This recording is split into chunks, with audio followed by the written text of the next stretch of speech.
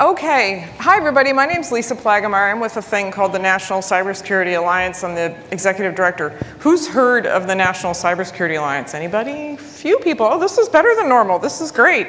Uh, normal when I ask security practitioners. Um, who's heard of Cybersecurity Awareness Month? I'm so glad it's over. You guys are my uh, closing party.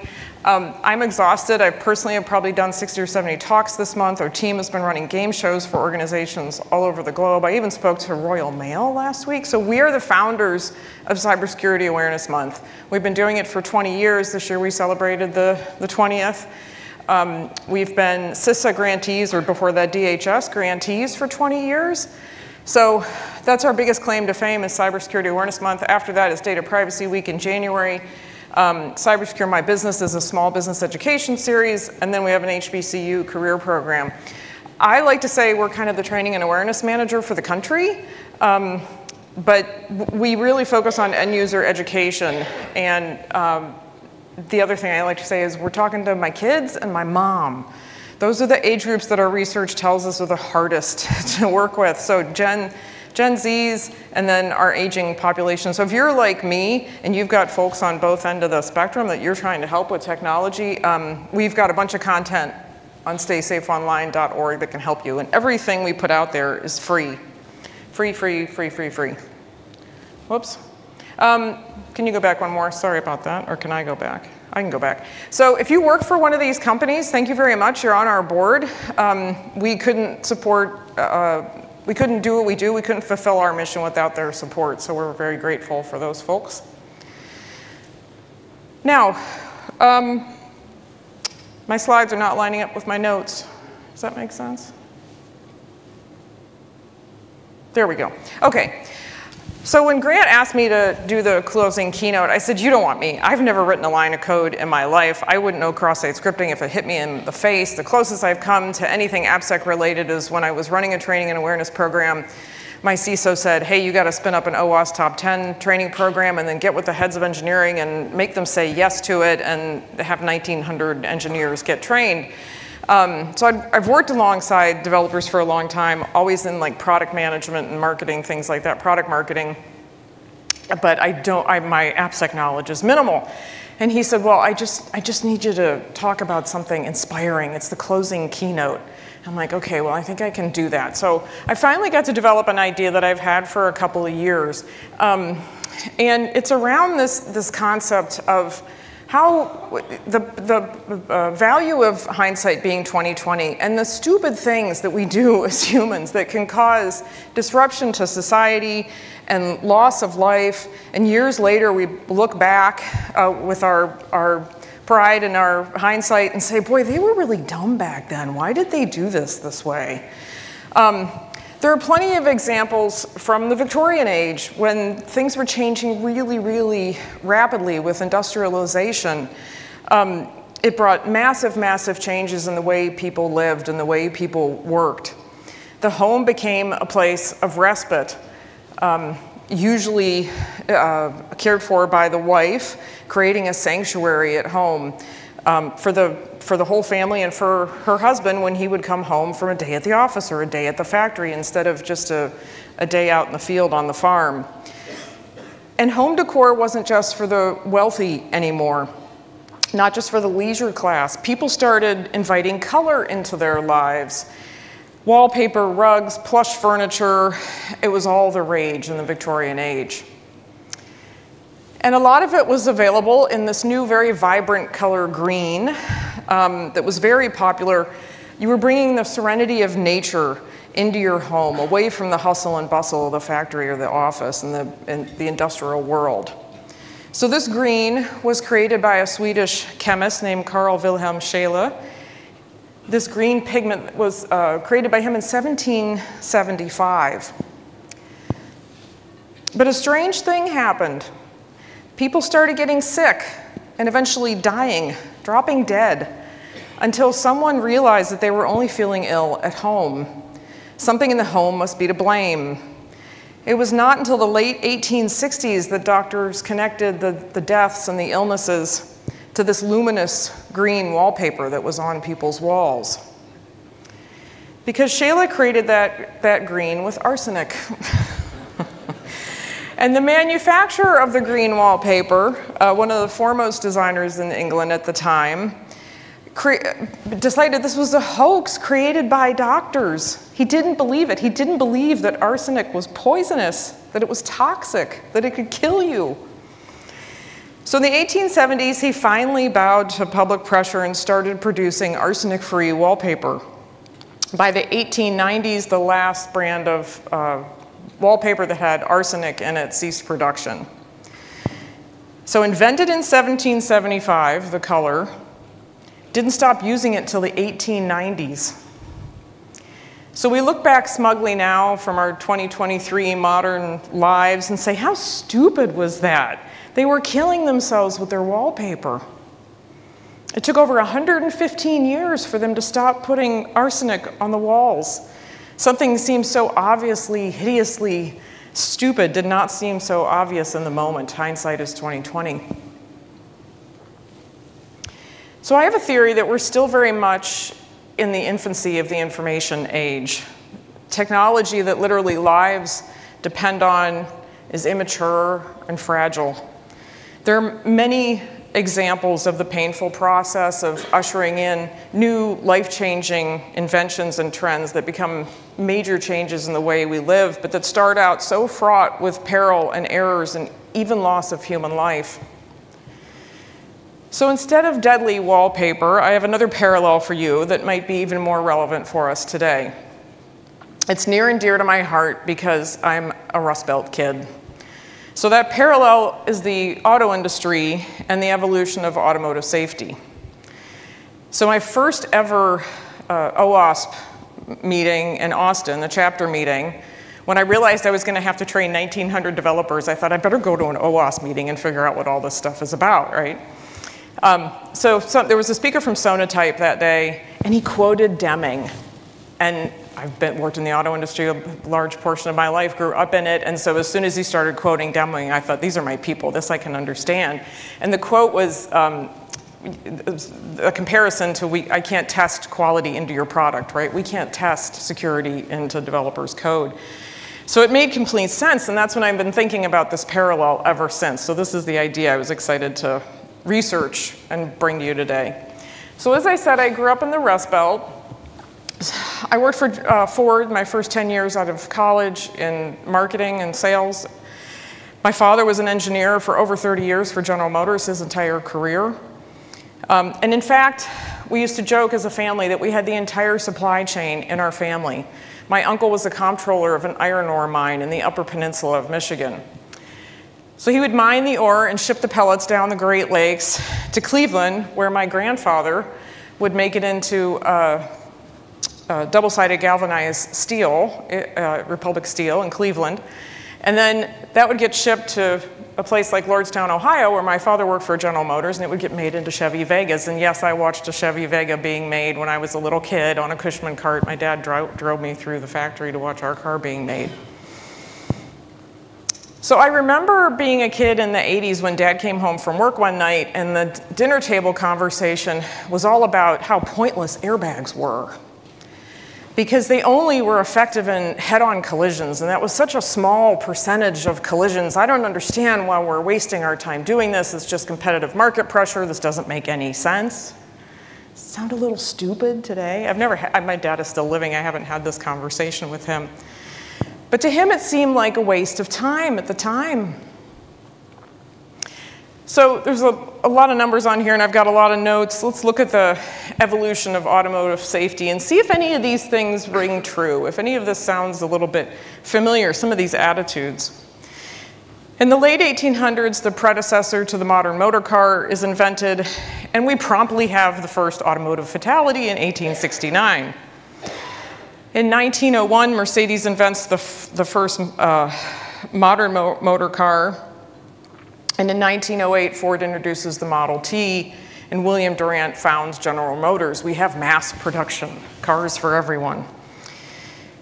In 1921, the Federal Highway Act makes it easier to drive more and faster. But we haven't legislated or regulated any safety yet at all. So does this sound familiar? We don't want to slow down innovation. We want to go, we want to go faster and longer and do more. And hydraulic brakes, thankfully, uh, come on the scene about a year later. Also in the 20s, we see the introduction of planned obsolescence and manufacturers leaning into styling and new features. A new emphasis on styling exemplified in the largely cosmetic model year change. We don't do, we don't make a big deal out of those anymore. We cared more about what vehicles look like than about how safe they were and what features they had. Feature, feature, feature. Sound familiar? All more important than, our, than the human lives we were putting in these vehicles. In 1930, we get safety glass. I can only imagine how gruesome accidents were before safety glass. In 1949, the vehicle manufacturer Nash starts offering seatbelts as optional. Guess what? nobody buys them. Customers actually ask dealers to remove them from cars or they cut them out of the vehicles themselves. In 1955, the modern three-point seatbelt is invented. Only 2% of Ford buyers order seatbelts in their cars. In 1958, manufacturers stopped charging for them. Guess what? Safety didn't even sell. People didn't want to pay for it.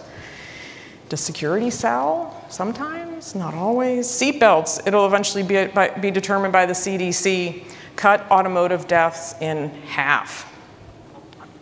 In 1952, the airbag is invented. It takes another 30 plus years before we start seeing them in any meaningful way in mass production.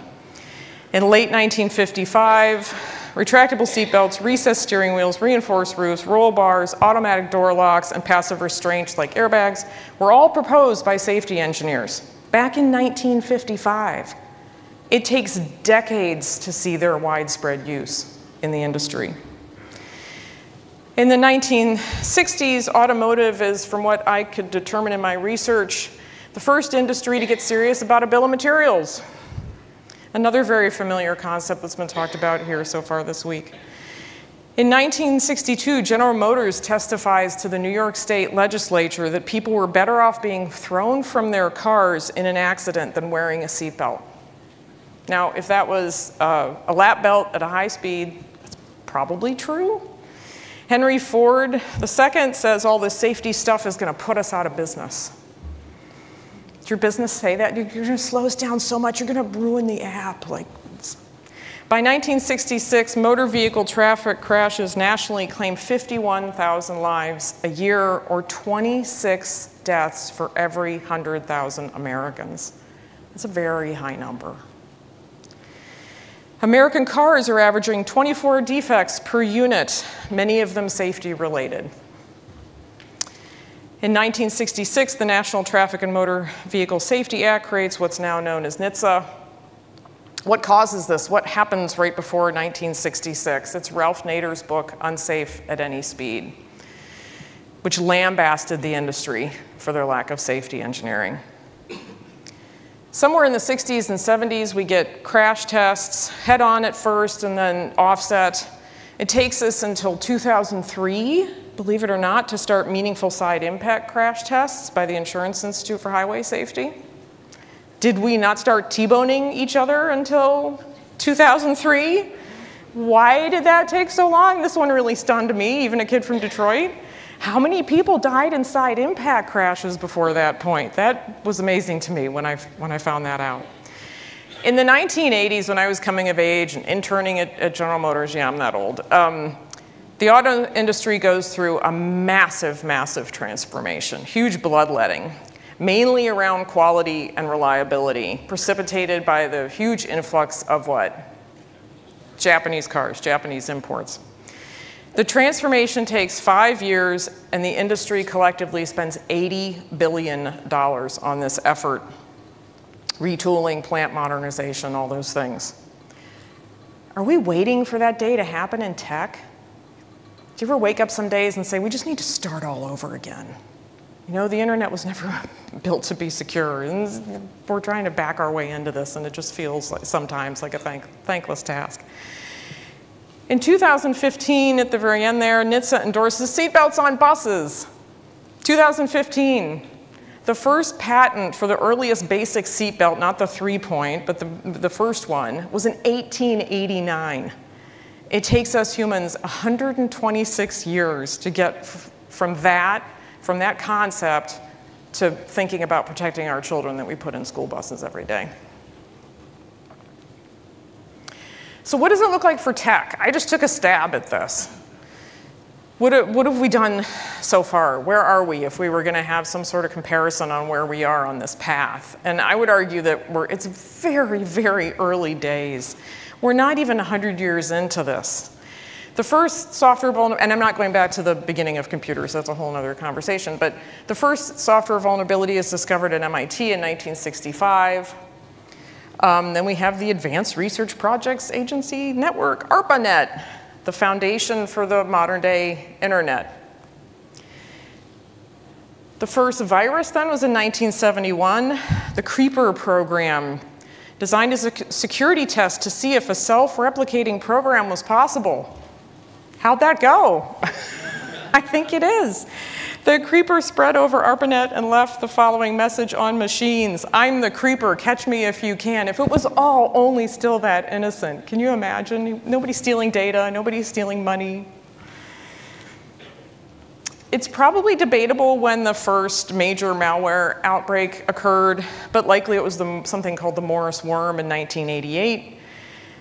I'll uh, quote here, Robert Morris had an idea to try to gauge the size of the internet by writing a program that would propagate across computer networks um, and exploit a known Unix bug and copy itself. However, due to human error, the Morris worm began to replicate itself so aggressively that control of it was lost and it began to take over. This sounds like the conversations we're having now about AI. Are we going to lose control of the technology? We're, we're 25 years later and we're, we're still worried about this. It's early days still. We haven't figured it all out. As Alyssa said yesterday, JavaScript was released by Netscape in 1995. In 1998, we see the first SQL injection. Cross-site scripting in 2000. And as Alyssa said yesterday, we're still seeing way too much of both of these, right? And then OWASP was founded in 2001 Somewhere around 2004, 2005, we finally start thinking about security in a more serious way, and that's when we have the first big standard PCI DSS for the payment card industry. But it wasn't until um, 2005 that application security itself became more mainstream amongst engineering and development communities and security communities um, with a worm that hit MySpace. Over a million MySpace users were infected and MySpace was taken offline. Can't say that I miss it, but. So I could keep going with more recent history, but it's all stuff that's happened uh, in everybody's lifetime that's in, in the room, right? We've had multiple executive orders. We got a new one this week. Um, all the, I didn't even bother to see like when was the first static test run? When was the first dynamic test? Pen testing, how did that start? When did that start? But it's all been in recent, um, recent years. Um, we've got consumer labeling pending, um, GDPR, CCPA, national strategy from the OECD, all very recent, hopefully known to most of you. But my point is, though, that we still have a really, really, really long way to go. It's very early days in the information age, and I don't want you to be discouraged. So persevere. I hope the last two days have inspired you to keep going. I've, i hope you've exchanged ideas with industry colleagues and that gives you the energy to persevere. The other thing I think we need is some advocacy. That's why, uh, that's why I included Ralph Nader. Where's our Ralph Nader? Who will this be in our lifetime? There are so many voices clamoring within the security community about all the issues we face. Who will be the voice or the voices that break through to the business, that break through to the consumer public? To say that we demand better of the technology that we use in our lives. Consumer awareness, maybe this is the result of that advocacy. I think we need more of this. This is kind of the business that I'm in. What's the bumper sticker? If you're not appalled, you're not paying attention, you haven't been paying attention. Speaking of paying attention, we're working on a new campaign to get some attention. I feel like this might get some attention. It was based on the recent headlines. I kind of woke up at four in the morning after the story broke and had this idea. Um, so maybe this might get the attention. Because I, I, had, I was standing in line for a flight a couple weeks ago, and a woman next to me was a C-level executive at a US company that was owned by a Swiss company, and she was kind of joking about having had a ransomware attack, and oh yeah, we paid, and she kind of laughed it off. And I'm really getting tired of everybody laughing it off, so. Um, so we've got some campaigns that use fear, we've got some ca campaigns that use humor. I'm going to share one of those with you at the end. But there's definitely a role for consumer awareness here. Regulation, there's a role for government here too. Um, the executive orders, the national strategy and the plan, everything coming out of OECD has helped. They've made it really clear what the expectations are if you want to be in the DoD supply chain, that's for sure. The new SEC regulations will help shine a light on things, and I think sunlight and transparency are great healers for problems. But regulation can only do so much. It's a part of the answer. Um, I'm not an SBOM expert by any means, but I hear a lot of conversations on whether or not that's actually working, right? Everybody's very excited when it was in the executive order, but is it doing everything we hoped? Is it not really? Is it going to turn into a tick box exercise? What's happening? So raising the level of visibility and discourse through these things, I think, is, is useful. We all agree that something needs to happen, but it's really hard for us to agree on what including the folks on Capitol Hill, especially the folks on Capitol Hill. The issues are so complex and we're not sure what's really gonna be a fix and what will have unintended consequences. So you can't pull one lever and just expect it to, to affect one outcome. These are complex problems and they have complex solutions, but I think regulation is one of the levers. Alignment and unification. This is something we have to work on as a, as a community um, coming together as experts in the field on, on agreeing on what it is we want through organizations like OWASP, where we want to things, see things go. We need to band together to work toward common goals and be unified as a community. This is something else that can be really hard, but if we sound like disparate voices, we'll fail to amplify the problem. We won't get share of mind. So we all need to be singing in, in unison. We can't just say we want development to slow down so we can catch up. Um, I think we've heard plenty the last two days about not being the Department of No. We know that that doesn't work. We can't clamor for a multitude of disparate solutions, some that maybe potentially conflict with each other. And we can't be unreasonable. We heard, I heard one of the keynote, I can't remember whose keynote it was, if it was yours, about the, the security people can be a little unreasonable sometimes. Some progress is better than no progress. A great problem of contemporary life is how to control the power of economic interests which ignore the harmful effects of their technology. We are fighting a problem that's as old as modern commerce itself. So let's talk a little bit about Ralph Nader. I have some inspirational characters here, and these are in no particular order. They're not in uh, chronological order or anything. So he wrote the book Unsafe at Any Speed, which, as I said, lambasted the industry for their lack of safety standard. Um, the book resulted in the creation of the Department of Transportation in 1966, and then uh, predecessor agencies that eventually turned into NHTSA, the National Highway Traffic Safety Administration, in 1970. Is the next Ralph Nader in this room? Is he here this week, or she? Lawrence Patrick this gentleman, and these are all men, they're all white men, every single one of them. It was a long time ago. Um, he was a professor at Wayne State University in Detroit. This blew my mind. He's, he's one of the fathers of the modern crash test dummy. Between 1960 and 1975, I quote, he says, I was a human crash test dummy. I allowed myself to be subject to over 400 rocket sled rides crushing blows to the head and body, other forms of physical abuse, in order to, to develop a body of data on the human body and how it responded in a vehicle accident. He also suggested himself to a 50 pound pendulum to the breastplate to test the effects of a steering column on a human. One of his students went on to develop what is now currently the worldwide standard for crash test dummies. Are you the next Lawrence Patrick? Please don't hurt yourself. Bella, and I'm not even going to try and pronounce his last name. He was the father of passive automotive safety design. So he believed that things like steering columns and the steering wheel, suspension, car body design should all be changed to enhance the safety of the car's occupants. He holds over 2,000 patents. That's twice as many as Thomas Edison. He developed the concept of the crumple zone. We all drive cars today that use that concept. Where you've just engineered the car to design, uh, design it to uh, absorb the energy of an impact during a collision. Mr. Bohlin, he is credited with the invention of the modern three-point safety belt. We all still use these today. He worked at Volvo, and this is now a standard feature that we all take for granted. Hugh DeHaven. After surviving a plane crash in the First World War, he became the father of crash survivability. And then he survived a traffic accident, which, which just served to increase his, his passion and his interest in safety. I'll quote him We will get into anybody's automobile, go any desired distance at dangerous speeds without safety belts, without shoulder harnesses, and with a very minimum of padding or other protect, protection to prevent our heads and bodies from smashing against the inside of a car in an accident.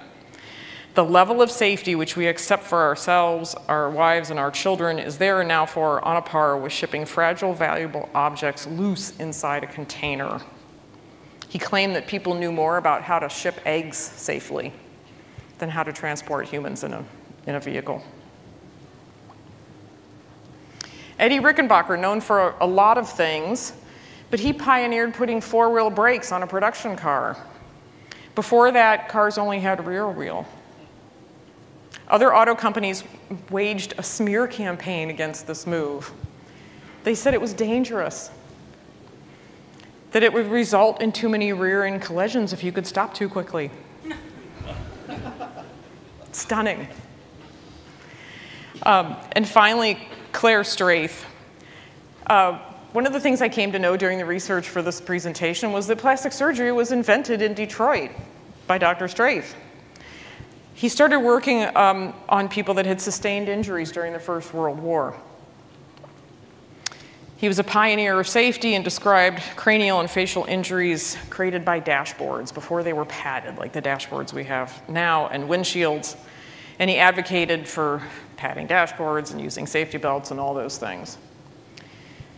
He was the first to recognize that it was automobiles that injured people. An accident was just the event, but it was the collision between the, the vehicles and between the passengers inside of the car that caused injuries. Nobody had thought about it that way before. So who's going to be the Claire Straith of AppSec? Are you in this room?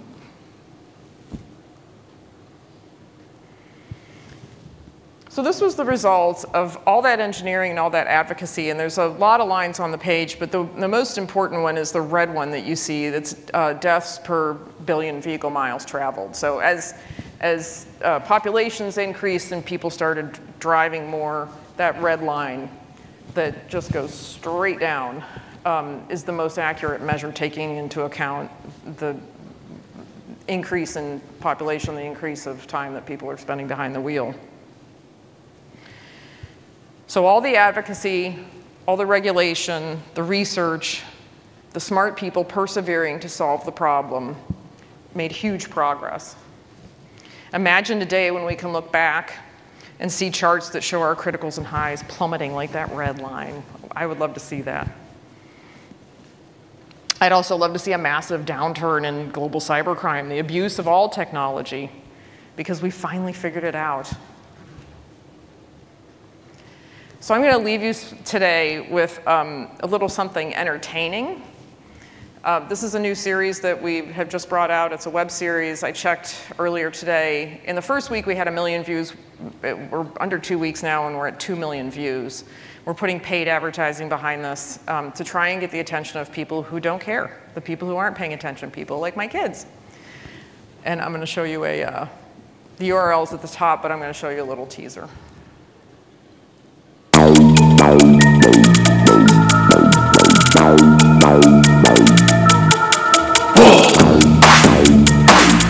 We hammer We use brute force. We let AI figure it out while we hang on on TikTok looking for soccer. You understand, right? This is essentially organized crime.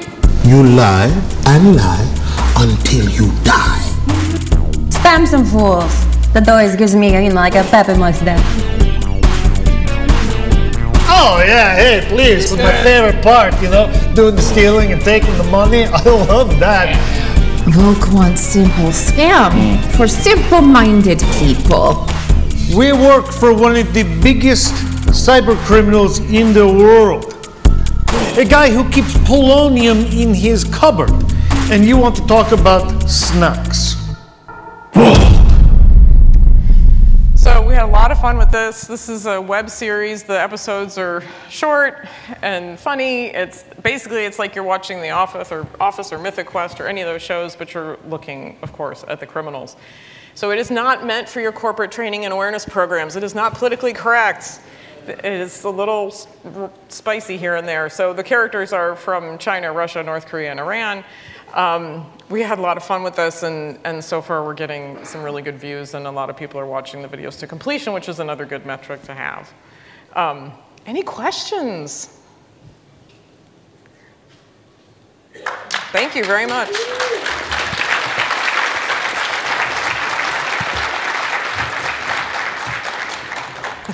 yes. Where does education fit into this? Where does academia have to actually start teaching us to make secure software instead of crappy software?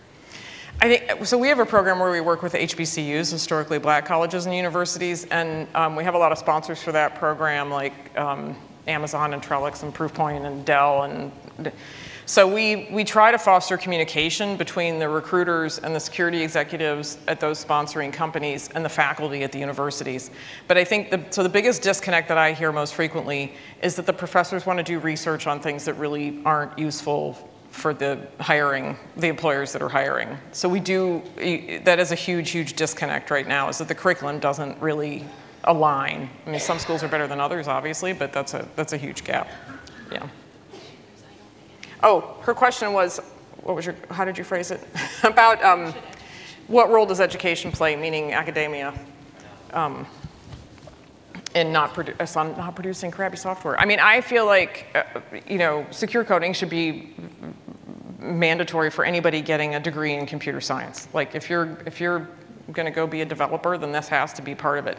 And I think, I mean, I don't know, do we all feel that way that eventually this is going to be integrated into every developer's job? I mean, I think we want to put ourselves out of business, right? Like 50 years from now, we shouldn't exist. 20 years from now. Um, I think that's, that's, it should be seen as just another quality issue, right? It's, it's just another, another code bug. Anybody else? Questions for him? For the guy in the kilt? Shout because I can't see you. Oh, there's one.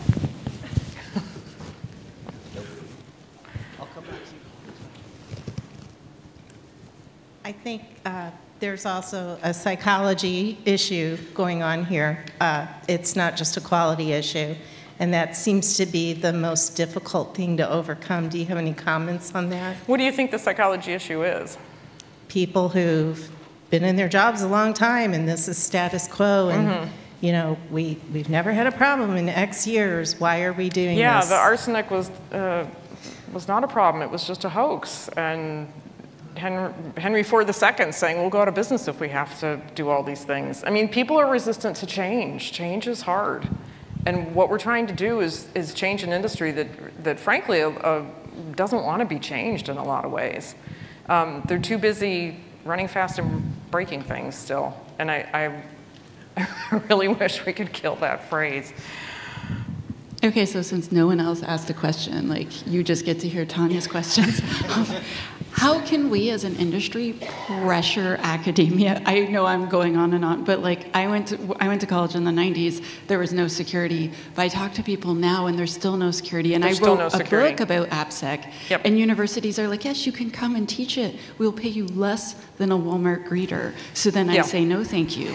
And I teach for free instead. But how do we, how do we force this issue? Like electricians go to school and if, if like um, houses just burnt down all the time, that wouldn't work, right? But for some reason, it's totally cool we burn down houses. So I think it's a state by state um, issue. So I see, like, we're we've talked to the folks at Cyber Florida. So the state of Florida made a huge commitment, and they're they're um, injecting security into K through 12 and into universities. They are sending high school teachers um, to get degrees in security over the summer. Now they have a problem where they then lose those teachers to go be security professionals because they can like quadruple their salary, but. Um, but they're approaching it from a bunch of different angles. They've made uh, that, that, commitment as a state, and they've put budget and people on the problem, um, and it's it's it's it's working. I mean, it's really early days yet. Um, North Dakota has mandated security as part of K-12 education, and I think New York is either done it or is working on it. So I think it starts really with K-12, and then. Um, and then I think the universities will start to wake up more. When, the, when, the, when your high school junior is looking around at uh, you know, college programs and deciding where they want to study, um, and they're really interested in cybersecurity, they're going to gravitate toward the schools that are doing a really good job. Um, there are also more community colleges. St. Philip's College in San Antonio is doing a great job, and um, Dade, Miami-Dade, the community college there you don't need a four-year degree, right? So more and more schools with two-year programs on in cybersecurity. I've, I've been surprised that they haven't been faster to ramp up though, because because of the job gap, the workforce gap. Yeah. Um, so um, next question, Tanya. I, I, would like her to sing her question. um, anyway, kidding aside, um, my, my feeling is this, um, and I don't want to sound too cynical, but seem to me businesses will cut costs at all costs. Yep. And uh, consumers, uh, well, we kind of do the same thing. We want to buy the cheapest thing, right? When we buy the cheapest food. We didn't even want to pay for seatbelts. Uh, yeah. So um, unless the, I feel like if the government intervenes somehow to, um, you know, to pass the laws to force certain things until the consumer get educated a few generations later? I think it's really tempting to want the silver if, bullet. If we want things to happen fast. We want things to happen faster. Do you think any of the men that I showed in that series of slides were optimists? I'm guessing they were pretty frustrated, just like we get frustrated today, right? And, and I made the point about all the different things that I think are necessary to change the problem because I don't think there's any one single answer. It's a really, really complex problem and it's got a complex answer and we have to be okay with that. So I think we're starting to make progress. Um, but that's why I say, please persevere. don't, don't give up because I think we still have a really long road to, to travel down, to use a, another car, car metaphor. But um, I think, I think it's really tempting to think, oh, if government would just do something, if customers just wanted this, if, if, if. It's really all those things happening at, to different degrees and at different levels that, that all sort of push us forward as an industry, I hope. Was there something else? Yeah? Yeah. Um, I wanted to touch base on the topic of ransomware. Um, you talked about that on one of your slides. Um, and I think it's it's like when it comes to a situation where you have to keep your business up and running, your service up and running, and you are in that situation where somebody is holding you hostage, um, the business have to make that call what to do next, and many of them are choosing to pay the ransom. Uh, my question was: Is there anything being done, uh, an initiative to make laws against paying ransom? Um, not that I've seen. I I I've read about that. I've heard discussions about it. I'm not so sure that's the, that's the right answer. Um, you're kind of, because if somebody violates that, you're punishing the victim. That's what I don't like about it theoretically. But you're never going to hear me say, I know a lot of people are really pragmatic about ransomware and what to do in the heat of the moment. I'm on the U.S. Secret Service Cyber Investigations Advisory Board. We, are funded, partially funded by CISA. I am never going to say it's okay to pay. I have a really clear moral compass about that. And I think the more we discover about where that money is actually going, the easier it is to have a really clear moral compass. I think organizations need to decide, is this who we are as a company? Do we want to fund the North Korean missile program? I mean, is this what we stand for as an organization? It's a policy decision that you make way in advance of it happening. If you haven't made it yet, then please, please go decide what your policy is going to be. Because as soon as you decide what your policy is going to be, no, we're not going to pay. Well, then, okay, what do we have to do to make sure we're not in that position? Then I'll get funding, I'll get resources because we made this at a, you know, the board or the C-suite made this policy decision. So I think it's really important to be proactive about it, um, not just from a technical perspective, but also from a leadership perspective. Is there somebody out there? Yep. So I kind of have this one that's piggybacking off of that, but one of the biggest arguments for security is that it saves the company money, but with cyber insurance companies, that's kind of mitigated some of the cost burden for them, and so they don't see it as being much of an issue. Would it be a good practice to put limits on how much cyber insurance is allowed to pay out or anything like that in order to make the company feel like they need to take it more seriously because it could be more detrimental to their overall health? I think, um, I think the free market is doing a pretty good job of kind of regulating itself, right? I'm hearing more and more about policies that have a lot of exceptions. In other words, if your basic IT and cyber hygiene is so lacking that you know, you were, this was inevitable, then, um, then your policy isn't going to magically, you know, there's no get out of jail free card there, I think, like there was when cyber insurance was brand new. Um, but I mean, I don't know, it's not a problem I thought about because frankly, I can't see it happening. I can't see any regulating body get, getting that into the weeds with the issue that they would feel comfortable um, I mean, I, I did a fireside chat with Director Easterly uh, last October during one of our events, and she said very plainly that there's not a lot of appetite for much regulation. So I, I don't know that we're going to get much more than what we've gotten out of the, um, the executive orders and everything so far. So I think I see, again, I think at the state level, there's more opportunity to do more, and then eventually that might force some federal action because we'll have too many conflicting state laws and it'll be a mess. Kind of the way we're going with C CCPA and everything now. You should just come back up here. okay, so last question from me. How can our community support the efforts that your organization is doing? I've been thinking about that yesterday and today while I've been here. How do, how do we, because we're in the business of trying to raise awareness about cybersecurity across the board. So how do we raise awareness about application security? And um, I don't know what the answer is to that question, right? It's, it's really easy to talk to consumers about watching out for scams and phishing emails and all those things. And it's even reasonable to talk to small and medium-sized businesses about ransomware and what they need to do to be prepared and all those kinds of things. Um, I think it's a harder conversation with even some of our board member companies that are, that are big tech. Um, because I, I know just from my 12 or 13 years I spent at a technology company, you know, we, we were a security team of 30 people trying to get a $2 billion organization to, you know, to, to take the vulnerability management program seriously. Um, so I know it's, it's something that everybody battles with. Um, I think it's going to come down more to that. I think that consumer element of just like getting fed up with the way technology functions. There's a lot of, so we've documented um, apathy on the part of like Gen Z particularly. These are the, this is like the folks born in the late 90s and the early 2000s who grew up with data breaches in the headlines. They're the least likely to try to think that doing anything about their personal security or privacy is worthwhile. They're also the most compromised. So they're the most likely to click on something and get defrauded, have either data or money stolen.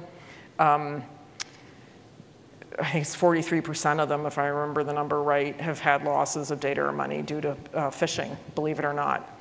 Um, they also believe, though, that they're the ones that the older generations are relying on for information. So we're taking the, the generation that is arguably has the worst personal practices when it comes to their security and their privacy, and, and they're helping um, the aging members of their families. Um, I think there's got to be a point where the younger generations are kind of up to here. Um, you know, I don't miss standing on the side of the road with a broken vehicle. I don't miss, you know, my dad driving me to school in a Chevette. Like, things got better. We demanded better. Competition helped, right? The Japanese and then the Koreans. And Um, so I, I think, I'm hoping that market forces eventually will get us there and that consumers will start to demand better. Everybody can, I'm guessing everybody in this room can remember the day when people just told you to turn your computer off and turn it back on again, right? Like that was the fix for everything. And we've come a long way since that. Um, so I'm hopeful that we'll get there.